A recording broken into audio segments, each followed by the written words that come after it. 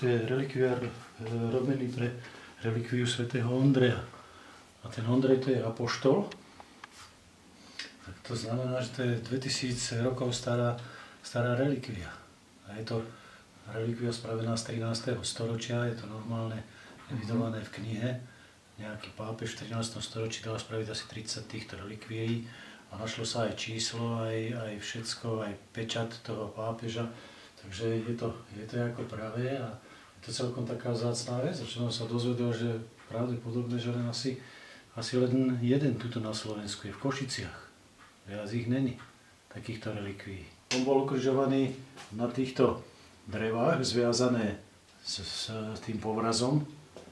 No a bol ukrižovaný na tom a tomu ostal taký atribút, že tých, týchto zviazané dreva, takýto kríž. Zvláštne aj Peter bol tiež ukrižovaný na takomto nejakom kríži. Ale neviem, Peter myslím, že bol dole hlavou. No a toto sa otvorí, vidíš? A tuto, tuto príde vlastne tá, tá relikvia. Tu je taký priezor, je to v takom mosadznom odliadku. No a príde to tam k oltáru postaviť. Dostali títo tú relikviu, v obálke to dostali normálne do pošty, nebol tam ani odosielateľ, ani adresát. Vyzvali, že aby sa prihlásil, kto to dal, nikto sa neprihlásil. Si mysleli, že či to nie je nejaký tento ale podvrh alebo čo, ale, ale je, to, je to doslova práve, lebo je tam normálne originálna pečať toho pápeža z toho 13. storočia.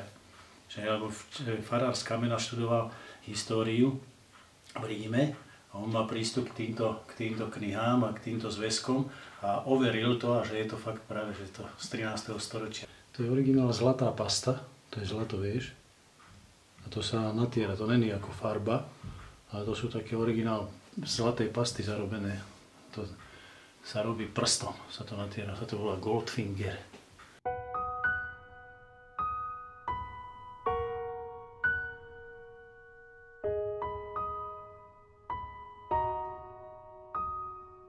taký symbol toho svätého Ondreja a spoza toho symbolu, že tie lúče vychádzajú a že akože osvetľujú tú, tú, na, na tú slávu toho, toho apoštola. Takže to je to v takých dvoch, dvoch kruhoch. Jeden vnútorný a potom taký vonkajší a potom to vychádza kandelej vyššie, vyššie a ďalej a ďalej. A je to robené, tie striebra, je tam použite ale tri druhy. Od odtiena, zlata a striebro. thank you